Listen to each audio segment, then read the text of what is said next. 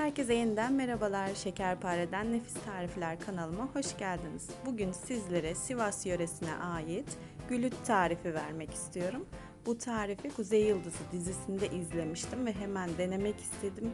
Gerçekten bir şahane bir tarif. Lezzetiyle, kokusuyla, e, görüntüsüyle çok güzel bir tarif. Buyurun hemen yapımına geçelim.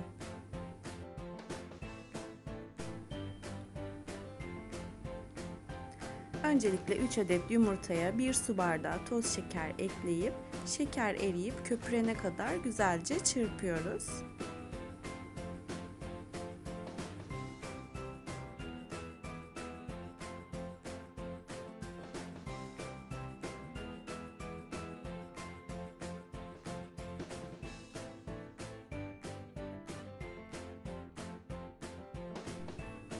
Hemen ardından 1 su bardağı sıvı yağ ve 1 su bardağı süt ekleyip çırpmaya devam ediyoruz.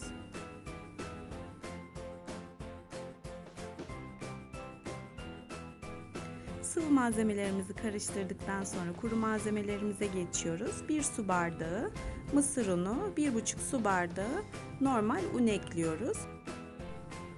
Son olarak 1 paket kabartma tozu ve 1 paket vanilyamızı da ekleyip e, güzelce kuru malzemelerimiz karışana kadar çırpıyoruz.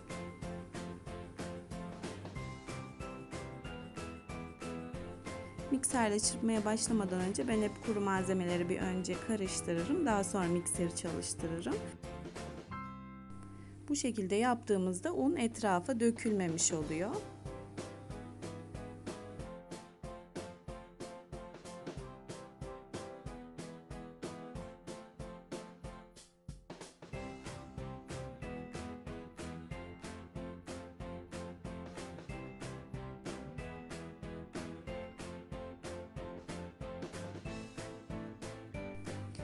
Mikserle karıştırdıktan sonra taban kenarında kalan unları da içerisine aktarıyoruz. Ben bu tarifte büyük boy kare borcam kullandım. Tam ölçüsü denk geldi. Öncelikle altını yağlıyoruz. Daha sonra kek hamurumuzu döküyoruz.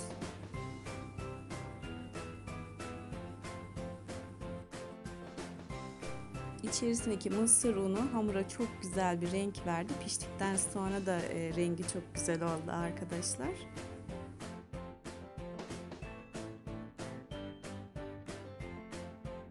İçerisindeki hava kabarcıklarını almak için borcamımızı birkaç kez masaya vuruyoruz.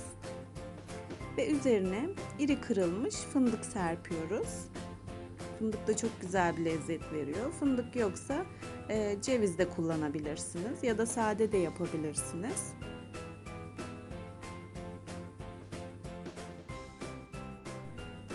Önceden ısıttığımız 180 derece fırında yaklaşık 30-35 dakika kadar güzelce kızarana dek e, kekimizi pişiriyoruz.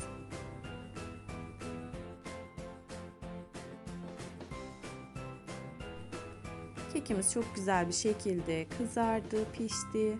Mutfağa harika kokular sardı. Normal kek gibi kokmuyor arkadaşlar. Gerçekten çok farklı ve güzel bir kokusu var. Biraz ılıdıktan sonra dilimliyoruz ve servis tabağına alıyoruz. Sizlere gülütün kıvamını da göstermek istiyorum. Sünger gibi yumuşacık bir tarif oldu.